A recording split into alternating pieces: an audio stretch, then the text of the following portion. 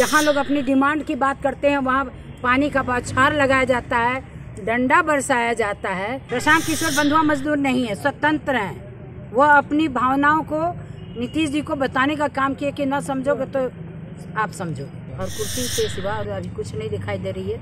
आगामी लोग, अभी विधानसभा का जो चुनाव आएगा, उसमें भी जो इनका महागठबंधन है, इनको बढ़िया से चोट पहुंचाएगा। मैडम तो वो अलग थलग पड़ गए हैं जेडीयू में जिस तरह से बयान आए हैं हमारे प्रदेश अध्यक्ष का या फिर नीरज का इस सबका तो कहीं देखिए बहुत सारे लोग बहुत नहीं नहीं बहुत सारे लोग चाटुकारिता करते हैं। बंधुआ मजदूर लोग हैं नीतीश के।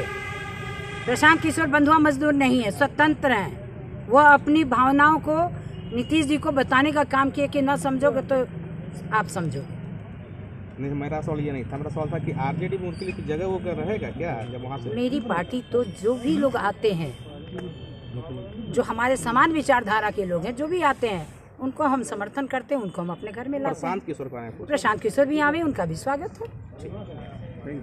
आप ये हम सबों को भी समझ में आता है ना कि केंद्र की सरकार है या यहाँ की सरकार झारखंड के भी जो चुनाव चल रहे हैं।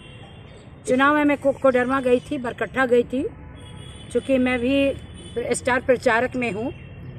और हमें जाना भी है गोड्डा भी जाना है। जनता कितनी त्राही माम कर रही है। चाहे आंगनबाड़ी सेविका हो आशा हो या रसोईया हो या पा, पारा टीचर हो जहाँ लोग अपनी डिमांड की बात करते हैं वहाँ पानी का बौछार लगाया जाता है डंडा बरसाया जाता है। तो क्या ये तबके क्या उनको माफ़ करने का काम करेंगे?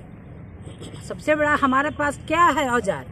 वोट का औज़ार है। एक एक वोट के साथ ही हमारे लोग ज़िंदा हैं कि भाई जब मौका आएगा तो हम भी इन्हीं वोटों के सहारे इनको करारा चोट पहुँचाने का काम करेंगे। मैडम ये बिहार में प्रशांत किशोर ने जो बयान दिया है सीएबी को लेकर के और ये सिक्किम प्रशांत किशोर जानते हैं जी।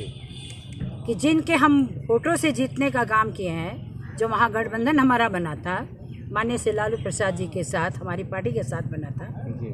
और उसके तहत अस्सी हमारे एमएलए थे, उनके सेवन, सेवेंटी थे। तो इतनी बहु मतलब कि बहुमत प्राप्त हुआ किसके वोटों पर?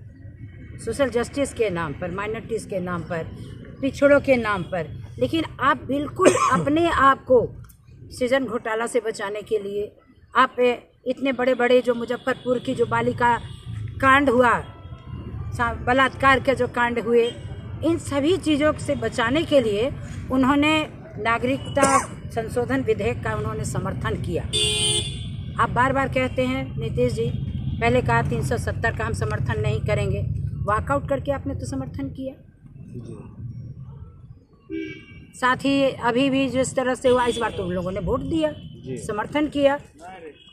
तो ऐसे हालत में प्रशांत किशोर ने नीतीश जी का ध्यान आकर्षित कराया कि आप जिनके मतों से जिनके वोटों से आप सत्ता पर काबिज हैं उनके बारे में भी सोचिए।